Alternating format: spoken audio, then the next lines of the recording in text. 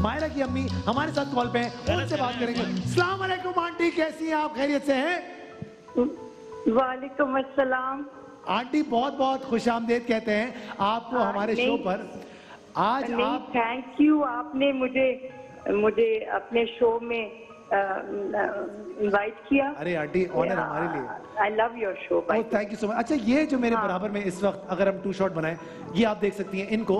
ये ये क्या गलत कर रहे हैं आंटी? क्या लग रहा है आपको? क्या गलती क्या हो रही मुझे है नहीं पता ये मेरी बेटी तो निहायत कंफ्यूज इंसान है। वालेकुम अस्सलाम बेटा। अदनान और इन्होंने अगर मैंने कुछ कहा हो, आप ये झूठ बोल रही है। मुझे पता है मुझे पता ये ये निहायत झूठी इंसान और ये इस Oh, और thank you please aunty.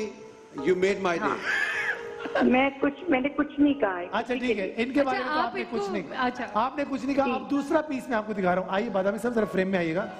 ये आओ आओ आओ घबराओ नहीं। आंटी ये जो है ये क्या गलत कर रहे हैं इतने अरसे से इस शो में? क्या प्रॉब्लम क्या लग रही है? ये तो बहुत I mean such a great और आपने इनके बारे में भी कभी कुछ नहीं कहा होगा।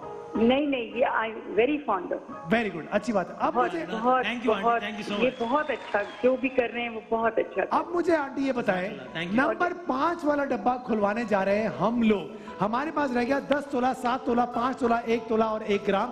क्या होगा नंबर पाँच वाले डब्बे के अंदर?